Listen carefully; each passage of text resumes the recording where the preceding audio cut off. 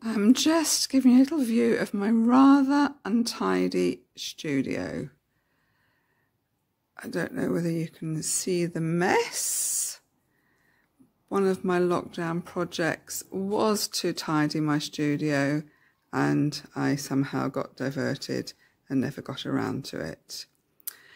This little corner here is where I make my felt.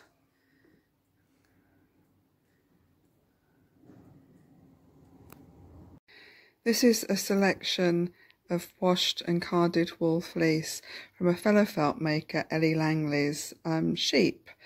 Uh, we, we did a swap um, of many, many years ago, and I've been saving this collection um, to, for a special project. The natural colours of sheep are incredible. There's an endless a variety, and um, I love the way that the colours blend together.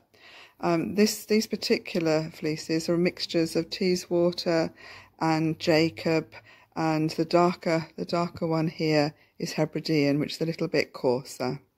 The black Hebridean sheep here are from Thing 1 and Thing 2, two sheep that retired at, seven, at nine years old to Ellie and she um, looked after them for the last seven years of their lives. Um, I'm sure they were very well looked after.